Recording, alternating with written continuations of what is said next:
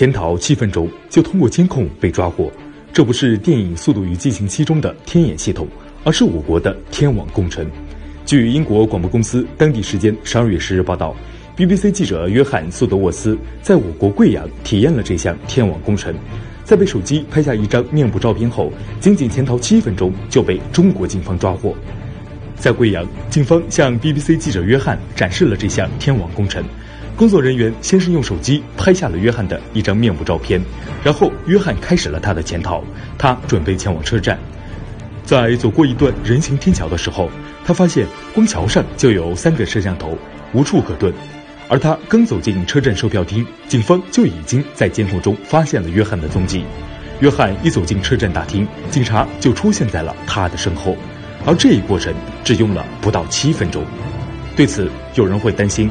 让罪犯无处遁形的天网工程，会不会侵犯到我们的个人隐私呢？对此，约翰最后总结称：“如果你没有什么可隐藏的，你就没什么可害怕的。”